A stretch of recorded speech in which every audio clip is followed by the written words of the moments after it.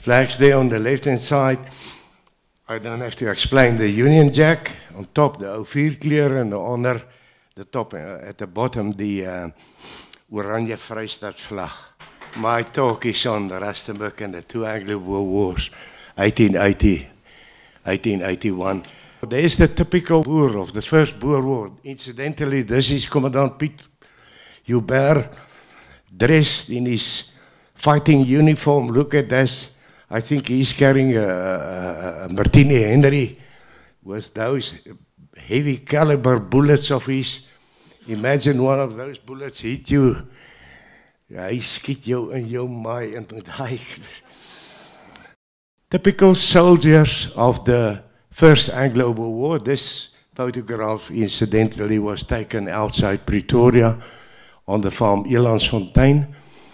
Uh, there was, during the siege of Pretoria, a battle at Elandsfontein, I think on the 6th of January 1881. So this is a typical British soldiers of the First Anglo-Boer War. The typical Boer. Daar sit hulle met hulle Mausers. Dit lyk vir my of almal Mausers het en bandoliere. The typical Boer of the Anglo-Boer War. This photograph was taken in the field. Typical British. This photograph was taken down in the Cape. Daar staan hulle. It looks they stand there with a, with a gun, something.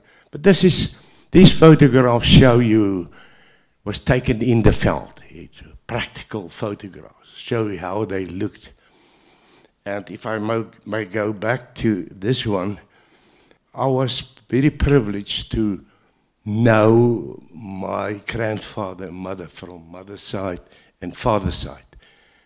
I think the last one died after I was matric start studying.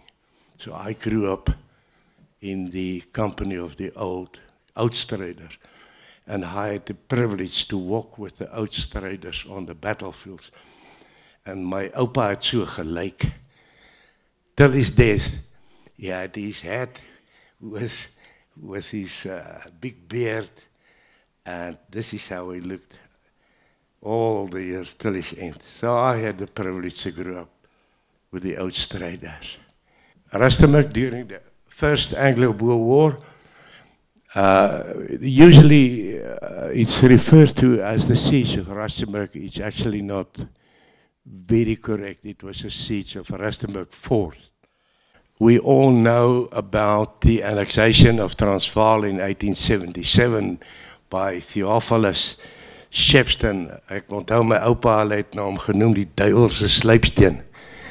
That was, that was what they called him, the devil's sluipsteen.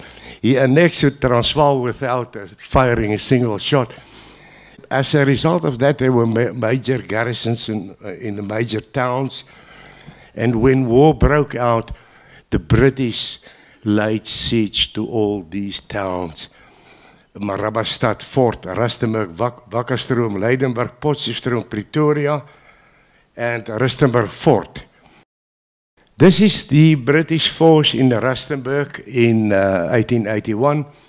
There were 60, 60, 67 men of the 2nd Battalion, 21st Royal Scots Fusiliers, some men of the Army Service Corps and Army Hospital Corps, medical officer Surgeon Ritchie, Army Medical Department, and six men of the Rustenburg Rifle Volunteers under Lieutenant Rice Daniel. This Mr. Rice Daniel was a land surveyor, and he made an excellent map of the, of the fort, which I'm going to show you. And I remember in the 80s, 80s the late Lionel Wolfson, when he wrote his book, The Siege of Rustenburg, the story of the citizens of Rustenburg, we were looking for that fort. So me and John Pennyfather, also being a surveyor, used Daniel's map to locate the fort because there's a scale on it with distances. And they were all under Captain Daniel Auchinleck, with under him a Lieutenant Despard. Uh, this Captain Auchinleck died I think in 1875 in Burma. In the Second World War, there was an Lake. He had the nickname the Auk. The fort, the fort itself was an earthwork about 25 yards square, which is about 22.9 meters by 22.9 meters. Now, there's the sketch that I told you about. I put some numbers in and the arrows in, uh, uh, referring to some certain important points. Number one, the Dutch church. Number two was the Landdrost office. I don't know if it is the present day Landdrost office. There's still a Landdrost kantoor in, in the main street near the old NG Kerk. I don't know if that Landdrost hof but and there was a Wagner store. Wagner was one of the men who supplied the the the the, the khakis with, the, with supplies. And there, number four is the fort. And uh, for you that know Rustenburg, this is where we located the fort to be, on the corner of Van Willig and Kerk Street. Now, at the bottom of your picture, there's a, a, a, a triangle called church. That is Reverend Stephen's church. Reg Stefan? That's is dit nie jou kerk nie. Kerk is daai? Dis NG Kerk. But it was on the on the corner of Van Willig and Kerk Street. In the old days there was a kleuterschool called Singspring Kleuterschool. But Singspring has disappeared in the meantime. Good. On the 20th of, 20th of December, about 200 Boers arrived at Rustenburg from Potchefstroom. They were commanded by Commandant van der Walt and a field cornet, Rickert. You know, die Rickerts in hierdie wêreld. Rickerts, hulle is almal altyd in die moeilikheid. With the Engels, the Rickerts, die Rickerts is famous for the fighting the British. Good, they, they arrived at the town, and on the 27th of December 1880, the Boers entered Rustenburg. And uh, they, they took the Landeros kantoor, and the firing started. Now, from the 27th December 1880 to the 30th March 1881, there was a mutual exchange of fire. The British held on and the Boers could not get them to surrender. This is a typical men, the, the siege mentality. The same happened at Mafeking. And the same happened at Kimberley and, and Ladysmith and Wakkerstroom and Leidenburg. The boere, they, they throw a cordon around and jy skiet hulle net and they shoot back. The same happened at Elands River where the, they, the British were surrounded and they contented themselves being sit there and just shoot back. And the Buddha just shoot at them. So uh, that's the whole thing. So we shoot at each other. Till when? Till what? Till what happens? It, it, uh, it, it is sometimes a Mr. Macabre situation, wait for something to happen.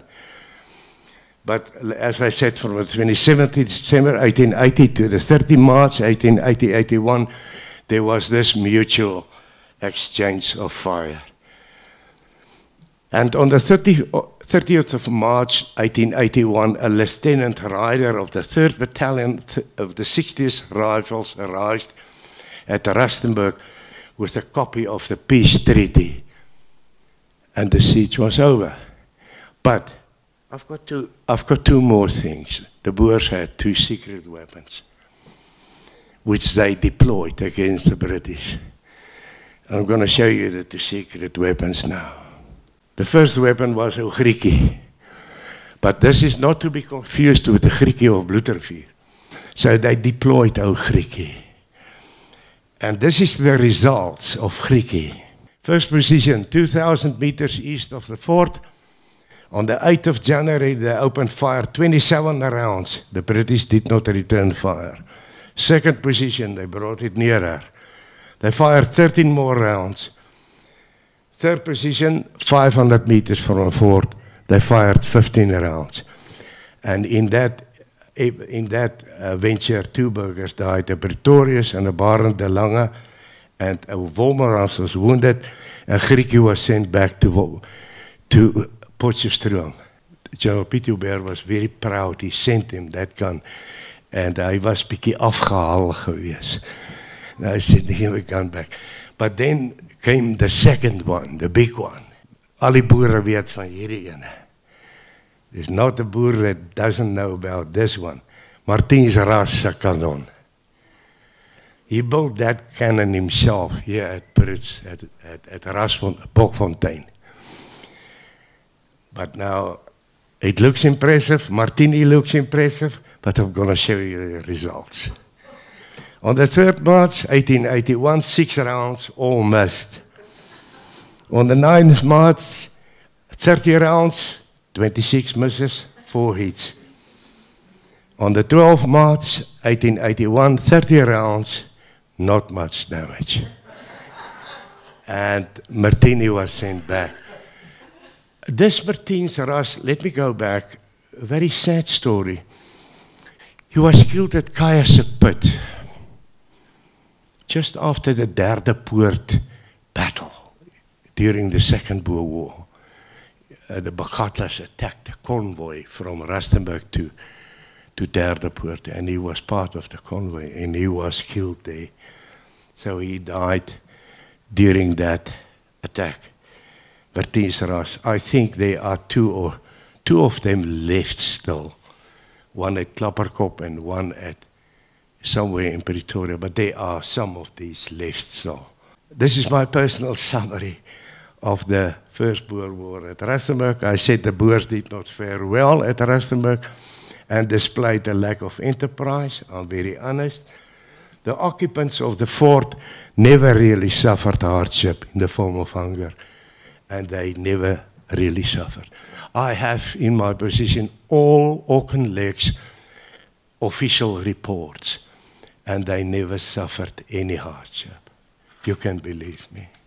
Rustenburg and the Second Anglo-Boer War. On the 14th of June 1900, Rustenburg was occupied by, by these two men on the left, uh, uh, Robert Baden Powell and Brigadier General Herbert Plumer.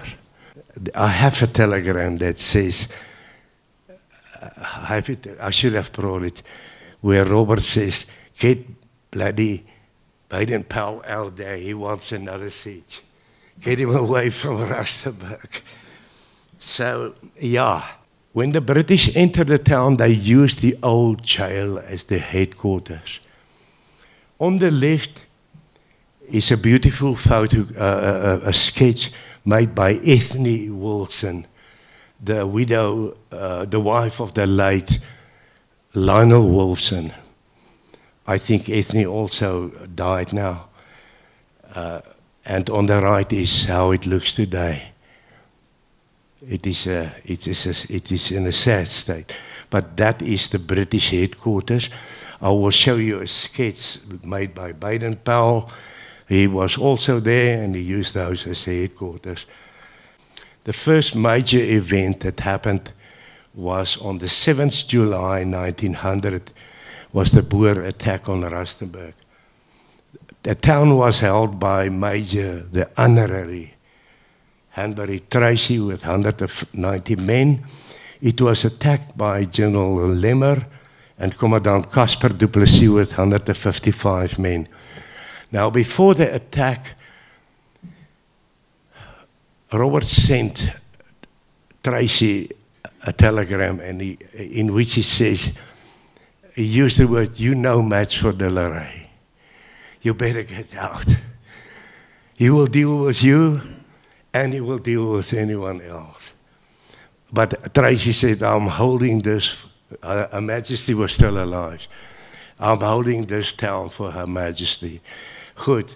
A fight ensued, and but the British were um, enforced. Uh, I'll show you a map now. Uh, with New South Wales citizen bushmen coming from uh, side, and the Boers had to retreat. Losses, four wounded. Casper Duplessis fell into British hands. He was nursed in the old hospital, and I think he was sent away to St. Helena. On the British side, two killed and three wounded. Recently, we found, Stefan, remember, we found two, the two graves of the 7th July uh, casualties in the, in the cemetery. They, they, they are our the Boer attackers. They, on the left is Commandant Casper du Plessis. On the right is General Hermanus Richard Lemmer. And I couldn't resist the temptation to put in that headstone. I was involved, and Reverend Botha was involved with erecting, after 120 years, a proper headstone on his grave on the farm Varkfontein outside Colini. And that is his gravestone. And this is the type of work that we do. This is, a, this is what you do. That stone for me is, this is how you do it. I, I dislike people who talk a lot. I like people who do things. This is why we do things. I say do things, you do it.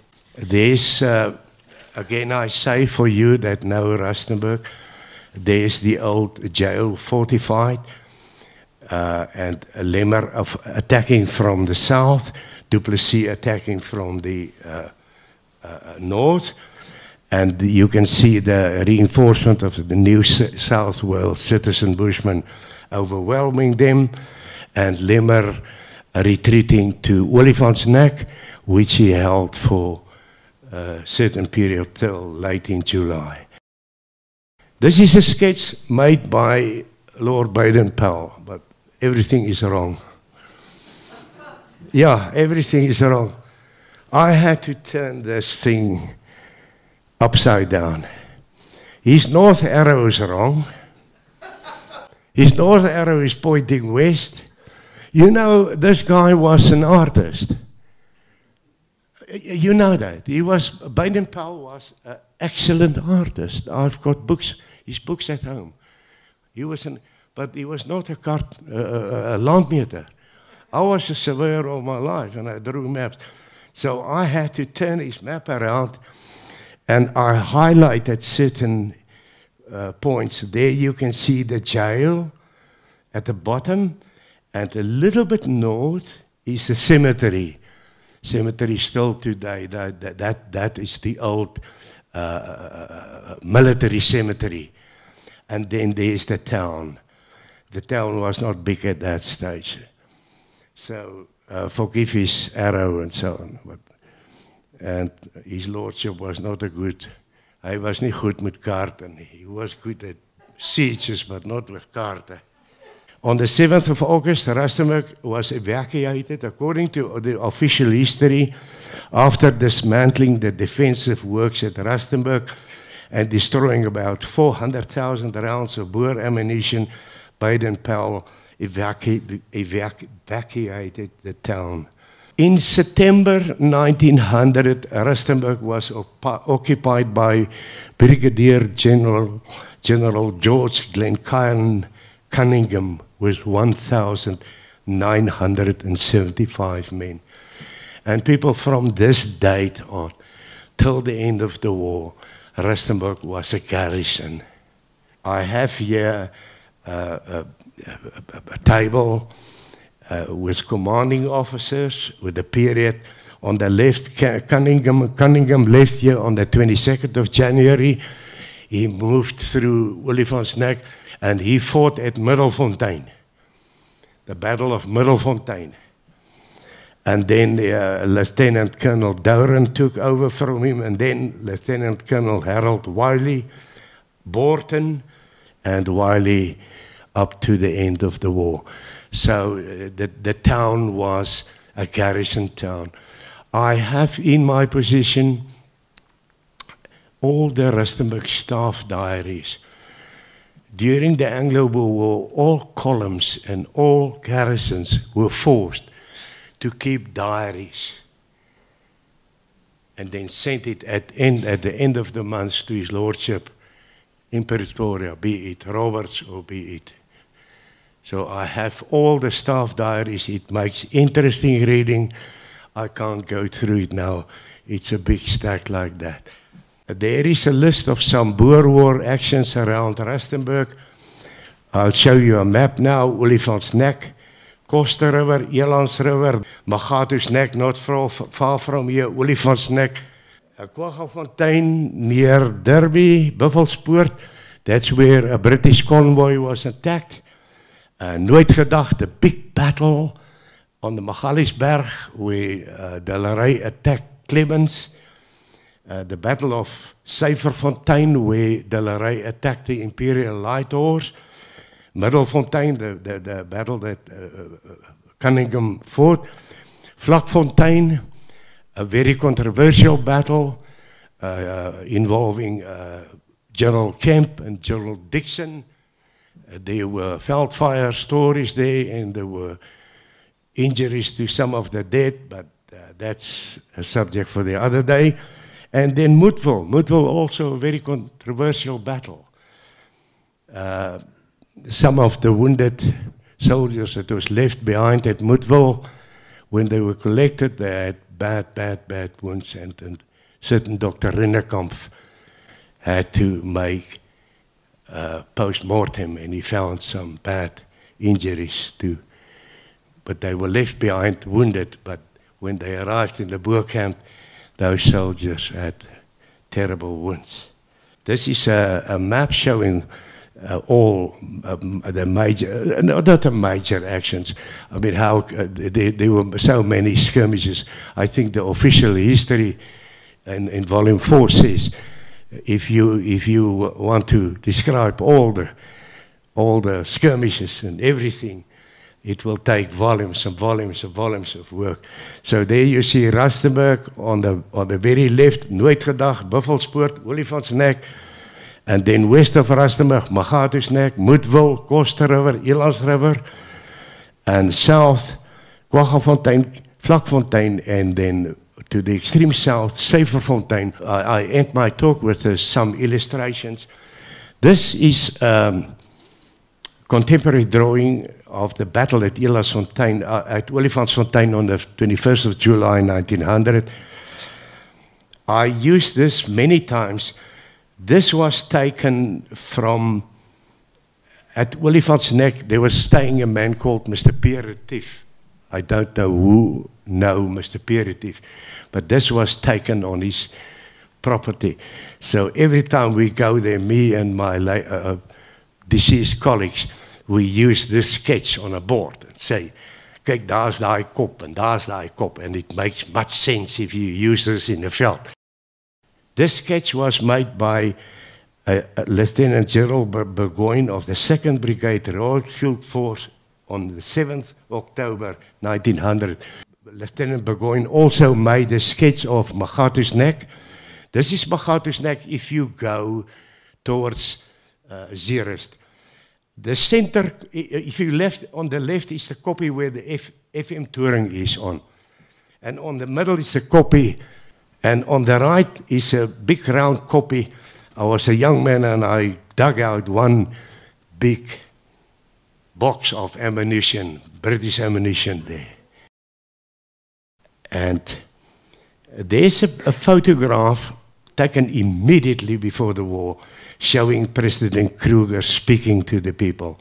He had that pose, jy weet. Hy hy hy gepraat. Die man het so gepraat. Uh, you know, he, he talk forceful. I marked him with a yellow arrow. That's that's President Kruger speaking to the Rustenburg burgers. There is uh, a photograph of Rustenburg during the Boer War. The architecture, very plain, typical boere, boerehuisies, not much. Is maar is maar 'n tipiese boerendorpie van die Wes-Transvaal. This is a rare photograph that I came upon recently. It shows a group of soldiers on the south side of the Magaliesberg. I think near Olifantsnek. On the back is the Magaliesberg. I don't know to which re regiment they belong because the writing on the back was done in pencil and it's faded. I, I don't know. But, but those guys are, are, are they're not fighting. And somebody asked me, where are their rifles? I don't know. I don't know. But uh, I, I, know that they are making lekker kosies. Lekker kosies. And they, they, are, they, they are clad in uniform. There's an interesting photograph showing the Royal Horse Artillery entering Rustenburg. On the left-hand side is the ou magistraatskantoor. And about 39 plus 9, 47 years ago, me and my wife got married there. She died about nine years ago.